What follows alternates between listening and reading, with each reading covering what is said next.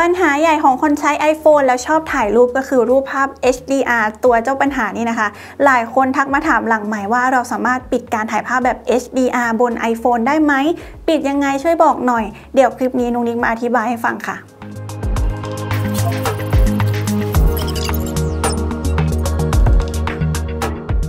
เรามาพูดถึงปัญหาที่เกิดขึ้นกันก่อนนะคะสำหรับคนใช้งาน iPhone แล้วเจอปัญหาหลังจากถ่ายรูปเสร็จทำไมรูปเรามันแปลกๆ บางทีก็หน้าเทาบางทีพื้นข้างหลังก็สว่างไปเลยตัวเราดูไม่เด่นดูหน้าดำไปเลยนะคะ สิ่งนี้มันเกิดจากสิ่งที่เรียกว่า HDR หรือว่า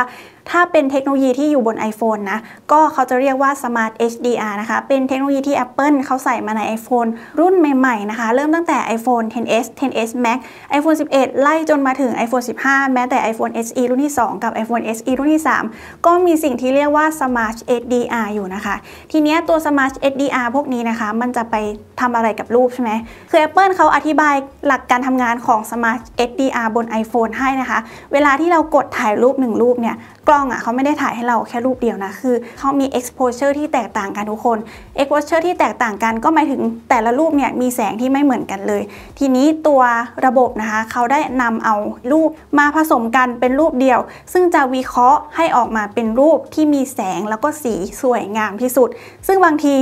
คือระบบมันอาจจะเข้าใจว่าเออเนี่ยแสงสีสวยละ แต่พอเรามาดูเองอะเรากลับไม่ถูกใจรูปนั้นๆนะคะ เพราะว่ามันมีสมาร์ท HDR นี่เอง อย่างรูปเนี้ยที่โชว์ให้ดูนะคะเนี่ยเป็นรูปสาวๆนะคะ ถ่ายตอนพระอาทิตย์ตกคือด้านหลังสวยมาก แสงสวยมาก แต่หน้าของนางแบบ4คนก็คือเทาหมดเลยทุกคนเนี่ยอันนี้คือปัญหาที่เกิดขึ้นระหว่างที่เราใช้งาน iPhone ในการถ่ายรูปนะคะ ทีนี้ก็เกิดคำถามนี้ว่าเราจะแก้ปัญหานี้ยังไง วิธีการแก้ไขปัญหาแรกที่พวกเราคิดได้ก็คือปิด HDR ใน iPhone ใช่ไหมเพื่อที่ถ่ายออกมาจะได้ไม่มีแบบรูป HDR มากวนใจ แต่ว่าสิ่งนี้นะคะไม่สามารถทำได้บน iPhone รุ่นใหม่ๆ ตั้งแต่ iPhone 13 เป็นต้นมา คือวันนี้กลับไป ย้อนอ่านบทความเกี่ยวกับฝรั่งนะคะ เกี่ยวกับผู้ใช้งาน user iPhone จริงๆอะ่ะคือเขาชอบไปโพสถามว่า iPhone 13 ของฉันเนี่ยทำไมปิด HDR ไม่ได้เลยอยากปิดปิดตรงไหน แล้วคำตอบที่ได้ส่วนใหญ่ก็คือมันไม่สามารถปิดได้ค่ะทุกคน แต่ว่าอันนี้คือไม่รู้เป็นข้อดีหรือเปล่านะ คนที่ใช้งาน iPhone 12 ลงไปอะ คือสามารถปิด HDR ได้อยู่นะคะ เดี๋ยวนุนี้ขึ้นเมนูให้ดูว่า อันนี้แคปมาจาก iPhone 12 Pro Max นะ คือมันมีเมนูในการปิด HDR อยู่ทุกคน คือแบบอันนี้ก็ไม่เข้าใจเหมือนกันว่า iPhone รุ่นใหม่ๆทำไมถึงไม่มีนะคะ ไล่มาตั้งแต่ iPhone 13 เลย iPhone 13 Series iPhone 14 Series แล้วก็ iPhone 15 Series นะคะ 3 รุ่นนี้จะเจอปัญหาอันนี้กันเยอะ แล้วก็นุนี้ถูกถามกันมาเยอะมากเลยค่ะ สรุปก็คือเวลาจะถ่ายภาพจาก iPhone ไม่สามารถปิด HDR ได้สำหรับ iPhone 13 เป็นต้นมานะคะ แต่ถ้าเกิดว่าจะถ่ายวิดีโอเนี่ยเราสามารถปิดการถ่ายวิดีโอ HDR ได้นะ เมนูก็นี่เลย เราเข้ามาที่แอปการตั้งค่าบนเครื่องของเรานะคะ แล้วก็เราไปที่เมนูกล้องค่ะทุกคน กล้องนะคะตรงนี้เลย แล้วเราก็ไปที่การบันทึกวิดีโอค่ะ นี่ตรงนี้ ทุกคนมันจะมีวิดีโอ HDR อยู่ ถ้าเกิดว่าปิดอันเนี้ยมันก็จะไม่มีการถ่ายวิดีโอแบบ HDR ให้เรา แต่รูปภาพไม่ว่าจะเป็นการถ่ายจากกล้องหน้าหรือว่ากล้องหลัง iPhone นะคะ ติด HDR ทุกรูป อีกเรื่องหนึ่งนะคะสำหรับสาวๆ ที่ชอบถ่ายรูปบน iPhone แล้วเอาไปอัพลง IG จะเห็นว่ารูปภาพที่อยู่ในแอป รูปภาพหรือว่าโฟโต้ของเราเนี่ยมันแตกต่างจากภาพที่เราจะอัพลง IG แบบบางทีเรากดอัพรูปลง IG ใช่ไหมเอ้ยทำไมรูปลง IG มันดูไม่สวย ดูแสงไม่สวยเหมือนกับรูปที่อยู่ในอัลบั้มรูปภาพของเราเลยนะคะ จริงๆ มันมีเมนูหนึ่งที่เพิ่มเข้ามานะคะ ไม่แน่ใจว่าทุกคนไปเปิดใช้งานกันไหมเดี๋ยวพามาดูนะคะ เราเข้ามาที่นี่หน้าการตั้งค่าของ IG ก่อนนะ แล้วก็เราจะไปที่ตรงนี้ค่ะทุกคน คุณภาพสื่อนะคะ ให้ดูเมนูที่ 3 นะคะ ปิดใช้งานการแสดงสื่อแบบ HDR ถ้าเกิดว่าคุณปิดอันนี้ไว้นะคะ แล้วคุณอัพรูปภาพ HDR ที่ได้จาก iPhone ลงไป คุณจะเห็นว่ารูปภาพมันแตกต่างกันเพราะว่าคุณไปปิดการแสดงนั่นเอง คือถ้าเปิดเอาไว้เนี่ยรูปภาพที่อยู่บน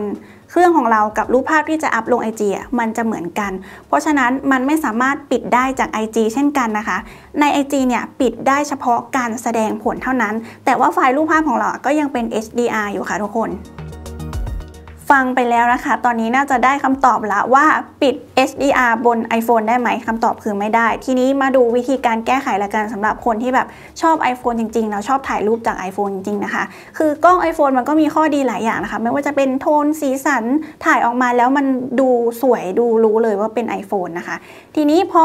ถ่ายมาแล้วนะคะ ก็ยังไม่ได้รูปที่ต้องการใช่ไหมในแอปรูปภาพจะมีเมนูการปรับตั้งค่านะคะ ทุกคนอะเดี๋ยวปรับให้ดูแล้วกัน เป็นการแก้ไขง่าย ๆ แล้วกันอะ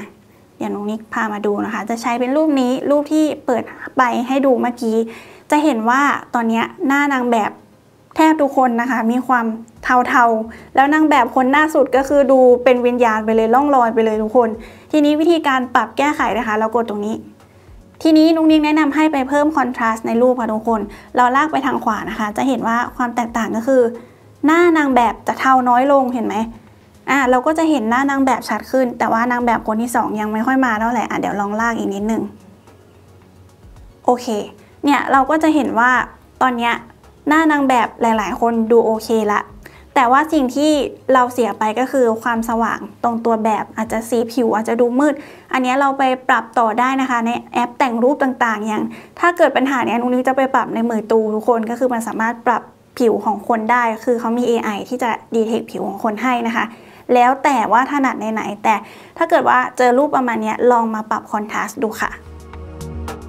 สำหรับวิธีการแก้ไขอื่นๆนะคะ ถ้าเกิดว่าอยากจะตัดปัญหานี้ไปเลย แนะนำให้ไปใช้กล้องที่อยู่ในแอปอื่นแทนก็คือ ไม่ให้ใช้กล้องจาก iPhone โดยตรงจากแอปกล้องนะคะ อย่างเช่นไปถ่ายจากแอป Lightroom ถ่ายจาก IG ก็ได้ถ่ายจากเฟซก็ได้ก็คือ ถ่ายปุ๊บเสร็จแล้วค่อยกดบันทึกลงเครื่อง เราก็จะได้รูปภาพที่อาจจะไม่ติด HDR อันนี้ไม่แน่ใจนะคะว่าแบบแอปไหนรองรับการถ่ายภาพ HDR แบบในตัวบ้าง แต่คิดว่าไม่น่าจะมีเยอะนะคะ พวกแอป Meitu อย่างเงี้ยไม่มีแน่นอนนุ้งนี้เคยถ่าย หรือว่าแอป Lightroom อย่างเงี้ยมันสามารถเลือกโหมดได้ มันก็จะมีโหมด auto โหมด HDR เราปรับเป็นโหมดที่ไม่ใช่ HDR แล้วเราค่อยกดถ่าย แล้วก็เซฟลงในเครื่องอีกที แล้วก็จะได้รูปภาพแบบไม่มี HDR นะคะทุกคน และอีกวิธีหนึ่งวิธีโกงสุดท้ายก็คือ เวลาที่เราเอากล้องขึ้นมาใช่ไหม เราอาจจะเห็นว่าในกล้องทำไมเราดูสวยจังเพื่อนเราดูสวยผิวขาวข้างหลังก็โอ้ดูดีมากเลยนะคะ วิธีการก็คือเราไม่ต้องกดถ่ายเราแคปหน้าจอเอาทุกคนแคปหน้าจอแล้วก็แคปจากรูปภาพหน้าจออีกทีนะคะ เราก็จะได้รูปตามที่เราเห็นใน iPhone เลย และสำหรับคลิปนี้นุ้งนี้ก็มาตอบคำถามให้แล้วนะคะ เกี่ยวกับรูปภาพ HDR ที่อยู่บน iPhone ลองเอาทริคหรือว่าคำแนะนำของนุ้งนี้ไปปรับใช้ดูนะคะ ถ้าเกิดว่าได้ผลก็ยินดีด้วยนะคะ หรือใครมีวิธีอื่นนะคะ ฝากคอมเมนต์ไว้ใต้คลิปนี้หน่อยนะคะ เดี๋ยวนุ้งนี้ลองไปทำตามดูถ้า work เนี่ยเดี๋ยวมาทำคลิปสอนอีกทีนะคะ ถ้าชอบคลิปนี้ยังไงก็กดแชร์ กดไลค์ กดติดตามช่อง iMoD Official ด้วยนะคะนุ้งนี้ขอลาไปก่อนค่ะ สวัสดีค่ะ